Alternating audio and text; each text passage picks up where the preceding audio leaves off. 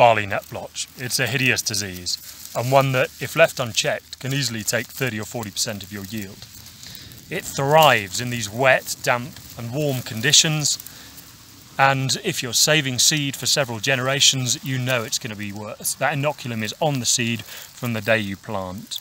Anywhere where you've had continuous barley or where there's barley residue still there, also going to get carryover of that disease. It's one of those hideous pathogens that looks like the crop's clean and then bang, it's suddenly in there all over it and it's not going to let go. And in a season when you've got plenty of moisture when it's worst, that's got to be the worst case scenario where you know that your crop could have done well, but you've run out not of moisture, but of green leaf area. And in barley, the lower leaves are key. Here they are, all dead. The crop's midway through grain fill, and you've got a tiny bit of green on the flag leaf. Flag leaf's really small in barley. That's why the later sprays are not important. The flag leaf spray is not so crucial, but the T1, the stage 30 spray, is the real key to get right. So this is in our fungicide trials, had absolutely nothing. If I go over here and show you this, much, much cleaner, beautifully clean barley, two sprays of Skyway. So Bixafen, prothioconazole, tebuconazole. In any good barley program, you've got to get in early, but you've also got to use prothioconazole. Unfortunately, there are no other good actives at the moment that'll work on that. So, people often ask me, can I lessen the cost of my barley fungicide spray? And the answer is no, essentially.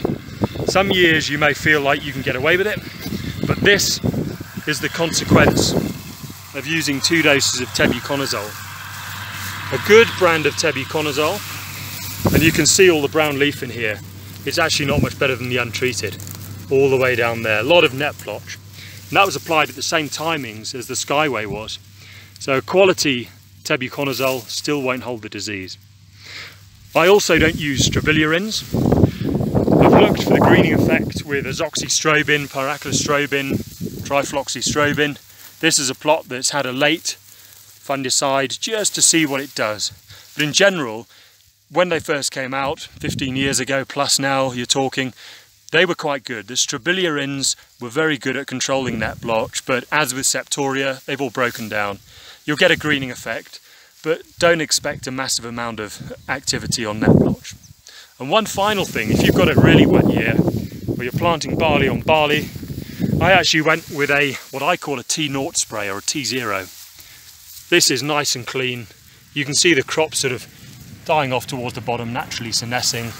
But I put half a litre of Artea on here, and it's beautifully clean.